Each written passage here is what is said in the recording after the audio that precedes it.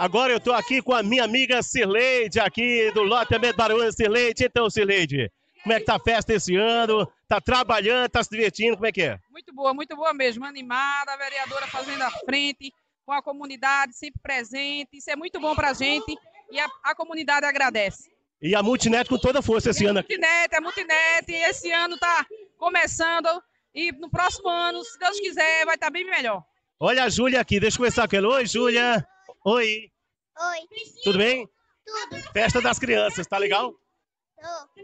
Pois é, a Júlia aí, olha. Quantos anos você tem, Júlia? Cinco. Cinco anos. A Júlia aqui é filha da Cirleide, viu? Olha aí. Olha aí, mãe e filha, coisa boa. Pois é, aqui na Festa das Crianças, loteamento Baraunas.